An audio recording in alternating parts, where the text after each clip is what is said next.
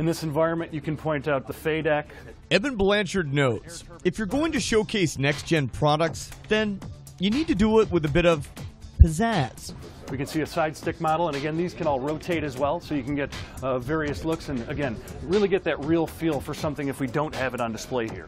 Something new at this year's UTC Pavilion at the Farnborough Air Show is a large touchscreen wall that gives an interactive experience for customers. Basically, when you touch anywhere, it will launch into the platform mode where you can see all of our various systems are highlighted. From UTC Aerospace Systems nacelles to Pratt Whitney geared turbofan engines, and education is provided through a show and tell perspective.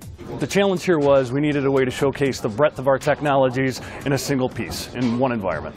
There is a coolness factor here, a piece of technology that demonstrates UTC's advanced innovations. Plus, getting the interactive engine and systems experience is just, well, fun. It's an exciting time. The walls just turned out better than we expected, and uh, it's only going to get better from here.